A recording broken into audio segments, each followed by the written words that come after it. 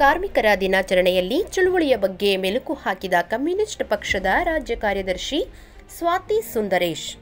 ಭಾರತದಲ್ಲಿ ಮೇ ದಿನವೇ ಕಾರ್ಮಿಕರ ದಿನ. ಇಪ್ಪತ್ತನೆಯ ಶತಮಾನದ ಎರಡನೇ ದಶಕದ ದ್ವಿತೀಯಾರ್ಧದಲ್ಲಿ ಕಾರ್ಮಿಕ ಸಂಘ ಚಳುವಳಿಯ ಪ್ರಭಾವ ಹೆಚ್ಚಿನದಾಗಿನಿಂದ ಇದರ ಆಚರಣೆ ಆರಂಭವಾಯಿತು. ಎಂದು ಕಮ್ಯುನಿಸ್ಟ್ ಪಕ್ಷದ ರಾಜ್ಯ ಕಾರ್ಯದರ್ಶಿ ಸ್ವಾತಿ ಸುಂದರೇಶ್ ಹೇಳಿದರು. ಅವರು ನಗರದ ವಾಲ್ಮೀಕಿ ಕಲ್ಯಾಣ ಮಂಟಪದಲ್ಲಿ ಆಯೋಜಿಸಿದ್ದ ಕಾರ್ಮಿಕರ ದಿನಾಚರಣೆಯಲ್ಲಿ ಭಾಗವಹಿಸಿ ಮಾತನಾಡಿದರು. ಮೇ ದಿನಾಚರಣೆಯಲ್ಲಿ ಭಾಗವಹಿಸಿದ ಮೊಟ್ಟ ಮೊದಲ ಭಾರತೀಯ ಕಾರ್ಮಿಕರು ಇಂಗ್ಲೆಂಡಿನಲ್ಲಿದ್ದ ಭಾರತೀಯ ನಾವಿಕರು. ಭಾರತಕ್ಕೆ ಸ್ವತಂತ್ರ ನೀಡಬೇಕೆಂಬ ಘೋಷಣೆಯನ್ನೊಳಗೊಂಡ ಪ್ರದರ್ಶನ ಚಿತ್ರಗಳನ್ನು ಹಿಡಿದು ಮೆರವಣಿಗೆಯಲ್ಲಿ ಅವರು ಕಳುಹಿಸುತ್ತಿದ್ದರು ಎಂದು ಮೆಲುಕು ಹಾಕಿದರು.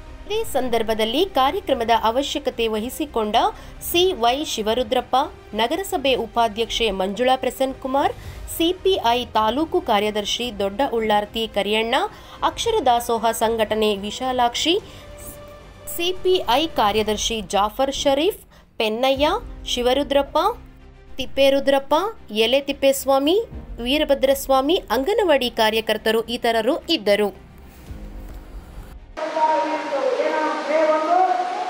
ಅಂತಾರಾಷ್ಟ್ರೀಯ ಕಾರ್ಮಿಕ ದಿನಾಚರಣೆ ಅನೇಕ ತ್ಯಾಗ ಬಲಿದಾನಗಳನ್ನ ಹಾಗೆ ಇವತ್ತು ಹಕ್ಕುಗಳನ್ನು ಪಡೆದಂಥ ದಿನ ಅಂತಾರಾಷ್ಟ್ರೀಯ ನೇತಿಗಳು ಅದರಲ್ಲಿ ನೇತೃತ್ವ ಹುಟ್ಟಿದಂಥದ್ದು ದೊಡ್ಡ ದೊಡ್ಡ ಸ್ಥಾನಮಾನ ರಾಷ್ಟ್ರ ನಾಯಕರಾಗಿದ್ದಾರೆ ಉದಾಹರಣೆಗೆ ನಮ್ಮ ರಾಜ್ಯದ ದೇವೇಗೌಡರು ಅವರು ನೇತೃತ್ವ ಹುಟ್ಟಿದರೆ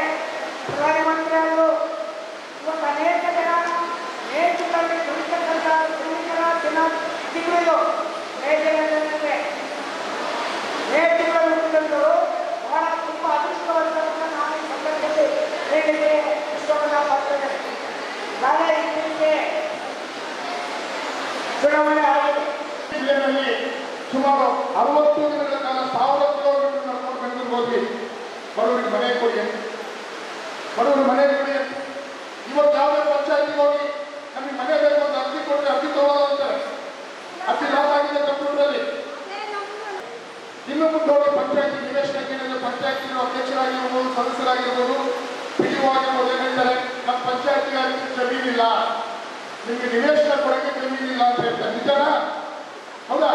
ಒಂದ್ ಕಡೆ ತಗೊಳ್ಳೋದು ಒಂದು ಒಂದು ಕಡೆ ನಿವೇಶನಕ್ಕೆ ಜಾಗ ಇಲ್ಲ. ಈಗ ಹೇಗೆ ಜನರನ್ನ ವಂಚನೆ ಮಾಡ್ತಕ್ಕಂಥ ಸರ್ಕಾರಗಳು. ಬಹಳಷ್ಟು ಬದಲಾಗಿದೆ ಅದು ಯಾಕೆ ಬದಲಾಗಿದೆ ಅಂತಂದ್ರೆ,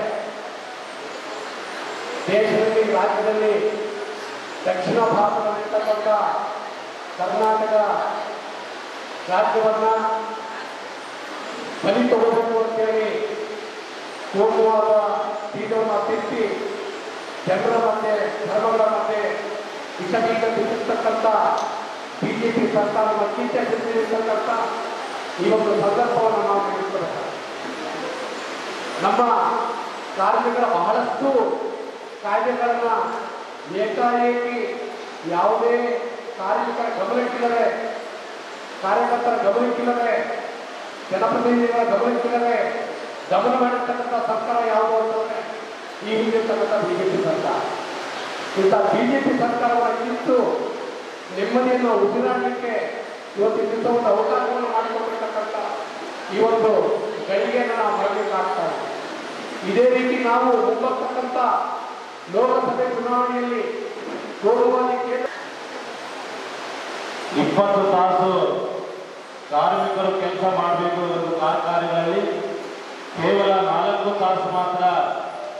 ತಮ್ಮ ಯೋಗಕ್ಷೇಮವನ್ನು ಮತ್ತು ನಿದ್ರೆಯನ್ನು ಮಾಡಬೇಕೆಂದು ಒಂದು ಆಗಿನ ಆಡಳಿತ ಮಾಡತಕ್ಕಂಥ ಸರ್ಕಾರಗಳ ಒಂದು ನೀತಿಯ ವಿರೋಧಗಳನ್ನು ಹೋರಾಟ ಮಾಡುವುದಕ್ಕಾಗಿ ಅನೇಕ ನಾಯಕರ ಬಲಿಯಾಗಿರ್ತಕ್ಕಂಥ ಒಂದು ಈ ಕಾರ್ಮಿಕ ಒಂದು ವಿಶ್ವದ ಕಾರ್ಮಿಕ ಅಂತೇಳಿ ಹೇಳ್ತಕ್ಕಂಥ ಒಂದು ಕಾರ್ಯಕ್ರಮ ಇದು.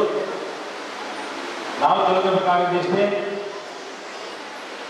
ಆಗಿನ ನಾಯಕರು ಮತ್ತು ಕಾರ್ಮಿಕ ಸಂಘಟನೆಗಳು ಮತ್ತು ಕಾರ್ಮಿಕರ ಹೋರಾಟದ ಮುಖಾಂತರ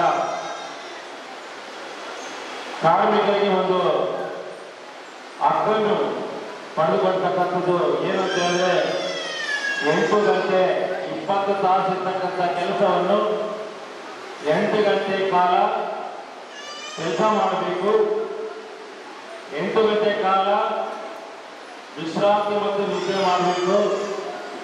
ರೀತಿಯಾಗಿ ಎಂಟು ಗಂಟೆ ತನ್ನ ಯೋಗಕ್ಷೇಮ ಮಕ್ಕಳ ಒಂದು ಕುಟುಂಬ ಜವಾಬ್ದಾರಿಯನ್ನು ನಡೆಸೋದಕ್ಕೆ ಆಗುತ್ತೆ.